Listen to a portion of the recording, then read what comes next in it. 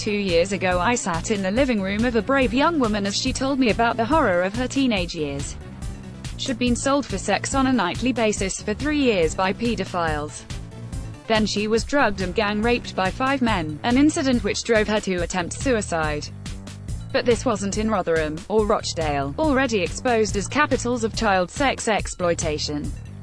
This was Telford, a town yet to be added to the grooming gang list of shame. But destined to be the worst of all.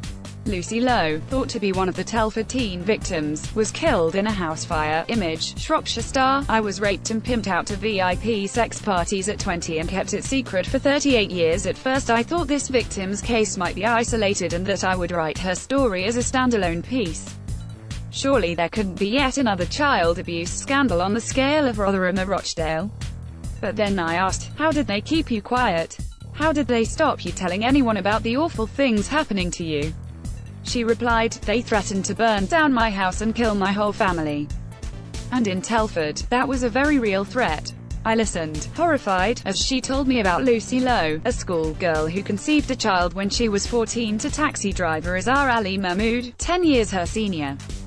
Two years later, when Lucy was pregnant again, he set her house on fire and she was burned alive, alongside her mum Eileen and 17-year-old sister Sarah. Though jailed for the murder, Mahmood was never arrested or charged over child sex crimes.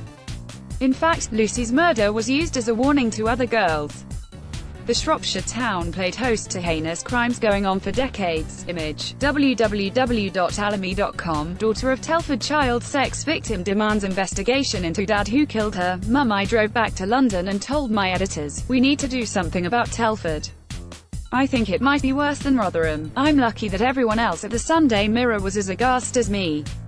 But as investigations editor Nick Sommerlad and I began digging, an almost unthinkable depth of depravity emerged.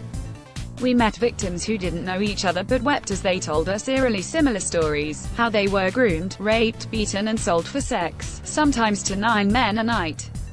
The oldest abuse survivor was now 47 the youngest just 19, and Lucy wasn't the only girl involved to die.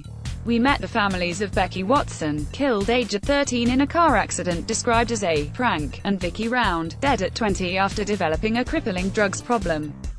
Both had been ripped from their families at 11 and trafficked across the UK to be raped. Shockingly, both shattered families said they had begged the authorities for help but got none. The failings of police and the council were so horrific they didn't want Mirror readers to know. Police sent officers to the homes of victims to tell them not to speak to us and the council branded us irresponsible. But we refused to give up on the lost girls of Telford. And finally, this week, we have been able to give them a voice. All we can hope now is that an inquiry gives them the answers they deserve to.